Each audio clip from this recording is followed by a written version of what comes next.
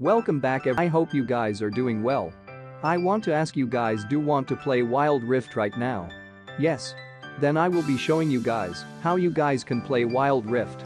Or this is my story of how I got to play Wild Rift. Without any delay, let's begin the video. Hello everyone, if you're new here please don't forget to hit that subscribe button and the notification bell in order to be notified when I upload. Basically, I'm going to host a tournament for Wild Rift if you're interested in that then join my Discord server, it will be in the description below.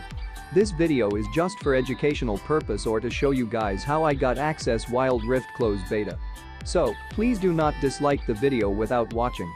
So, first of all, I created a Filipino Gmail account. It was like one month ago. And so, again while making this video I got invited in my Japanese account. There are two methods which you guys can use. So, first of all, you guys can create a new Gmail account using VPN. And the Gmail account should be of the selected region. I suggest you guys create an account of Philippines or Japan. And then go to Play Store and check it. Now, the second method, use a spare Gmail account. That means the Gmail you already have. Then download any VPN with the Philippines server, you can use Shuttle VPN, Hotspot Shield VPN, and then first you need accounts then go to preference then scroll down and change the country. It will ask you for card number. You can add random card number. Then simple clear data of Play Store and check.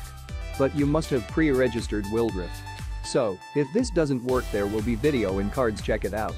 If you get the game congrats and welcome to Wild Rift. You can add worries you can contact me on any social media platform. And do follow me on Twitter and Instagram. So, that you could get news before on YouTube. And also that's it for today I hope you guys enjoyed this video.